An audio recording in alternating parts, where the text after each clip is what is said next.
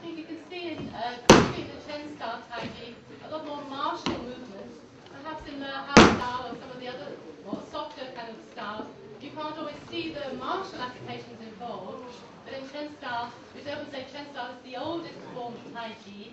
You can see a lot of the sort of more martial skills coming out, like elbow strikes and punches and uh, locking techniques.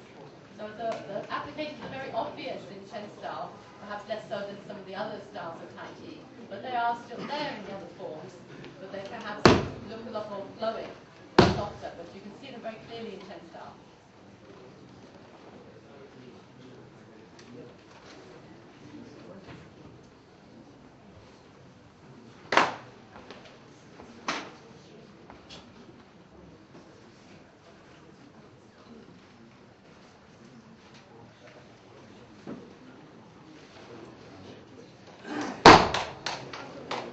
这个是一个陈胜太君。